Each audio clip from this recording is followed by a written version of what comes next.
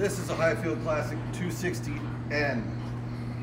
The Highfields, all Highfields have solid rub rail with an aggressive water deflection, welded tow rings, grab handles on the top.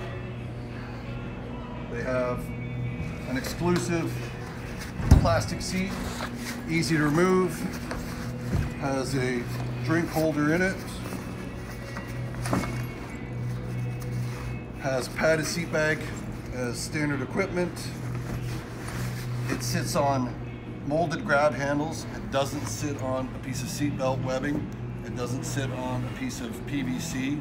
It is very durable. This model happens to have a double floor, so that is the N model.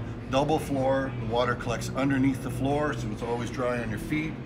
It has a one-way valve system, the scupper system in the drain plug so the water comes out quite easily.